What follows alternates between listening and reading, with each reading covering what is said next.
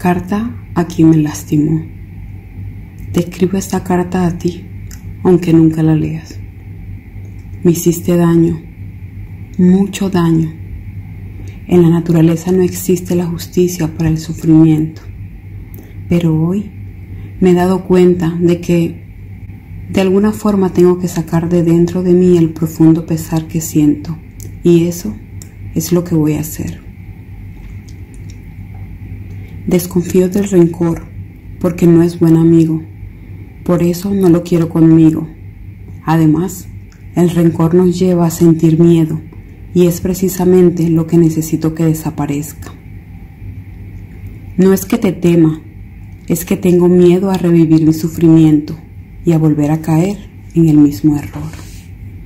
Por eso he decidido que tengo que afrontarlo, ponerme frente a frente a tu persona y a todo lo que tú significas, sea en mi mente o no, y hacerme valer. Si reduzco este miedo, conseguiré reducir todos los demás. La realidad es que hoy me pregunté si podía hacer algo valioso. Entonces decidí escribir esto.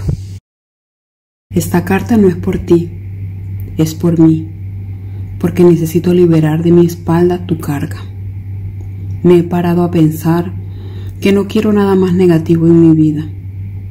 Y me he dado cuenta de que ahí estás tú y todo lo que significaste para mí. Hay cosas de nuestro pasado que cargamos para toda la vida si no nos deshacemos de ellas y por esa razón hoy te dejo ir. Hoy elijo ser mi prioridad. Hoy elijo ser feliz. Hoy elijo atenderme un poco más cuidar de ese jardín interior que crece en mí para ser feliz, para no caer en egoísmos ajenos, para que mis días no tengan más momentos oscuros y la vida me traiga la alegría de vivir, de sentirme viva. Nadie debe llamarte egoísta por decir no cuando lo necesitas, por buscar oxígeno y libertad en instantes de presión por cortar vínculos cuando las personas te hacen daño. Nadie tiene poder sobre ti salvo uno mismo, porque todos venimos solos a este mundo y nos vamos de la misma manera. Así que, ¿por qué no empezar desde ya a ser feliz y ofrecer mi felicidad a quien verdaderamente desea compartirla conmigo?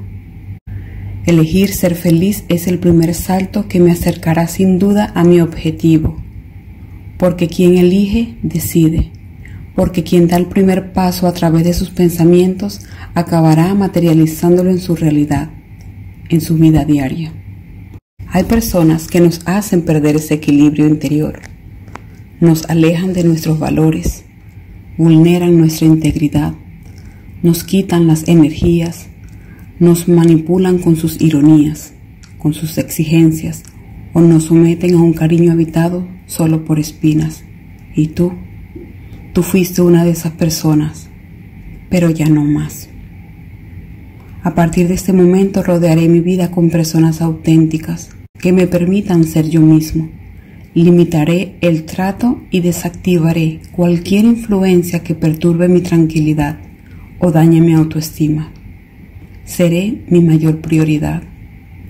Me he percatado de que reflexionar sobre ti es el mayor acto de amor y de valentía que puedo llevar a cabo en estos momentos. Hoy puedo decir que me estás haciendo un favor, porque ahora más que nunca me quiero y sé que no quiero hacer de mi cuerpo la tumba de mi alma, que puedo afrontar todo lo que hay en mi interior. Hoy no tengo miedo a vivir, porque todo consiste en reaprender a hacerlo.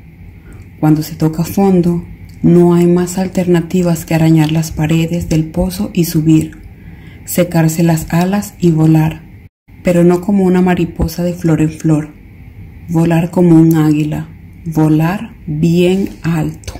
Me he convencido que para ser feliz hay que hacer un viaje interior para sanar muchas heridas y carencias del ayer. Una vez cubiertas, satisfechas y liberados los miedos, es el momento de abrir los ojos y el corazón y creer en ello. Creer que de verdad merecemos ser felices, no importa cuánto dolor haya pasado. Pero ahora sé que cada cosa que nos sucede tiene su tiempo y su ritmo y que al final todo pasa, todo llega y todo cambia. Todos hemos anhelado en algún momento que las agujas del reloj corriesen más o que las hojas del calendario se desplegasen con premura. Sin embargo, con el paso del tiempo nos obligamos a reflexionar sobre la trascendencia de lo que nos ocurre y de lo que queremos hacer que suceda. Lo cierto es que aunque todo pasa, siempre habrá algo que permanecerá sobre aquello que ha sucedido. Casi siempre los aprendizajes de la circunstancia que nos toca vivir impregnan parte de lo que podemos llamar esencia. Pero es tarde para decir, yo me equivoqué. Yo te quería y confiaba en ti. ¿Sabes? En realidad no pedía nada extraordinario, pero no debí permitir que me dañaras. No voy a olvidar nunca lo insoportable de este dolor, ni lo mucho que me ha enseñado. Al fin y al cabo, tengo que dar las gracias por algo.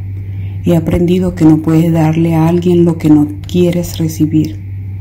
Te permitiste el lujo de dejármelo demasiado claro, tanto como lo importante que es saber lo que es malo en tu vida y te está consumiendo.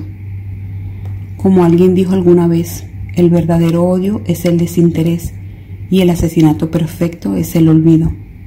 No pienso arrojar una piedra hacia arriba, pues lo más probable es que caiga en mi cabeza.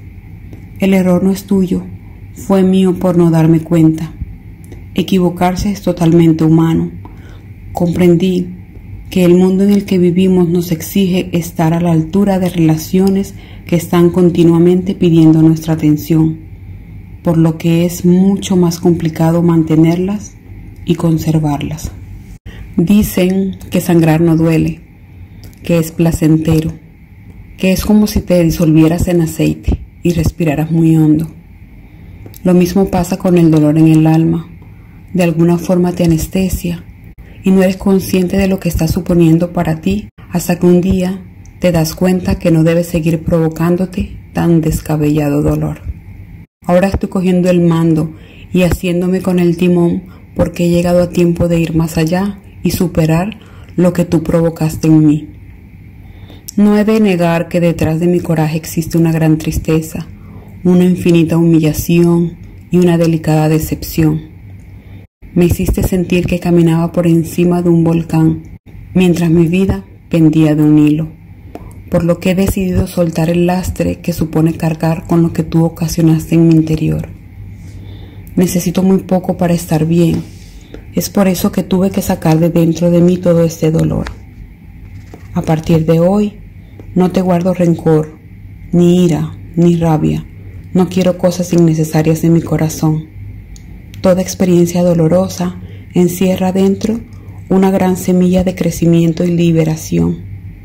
Gracias a ti aprendí que cuando mantienes tu resentimiento hacia otra persona, estás amarrado a esa persona o a esa situación por un vínculo emocional que es más fuerte que el acero.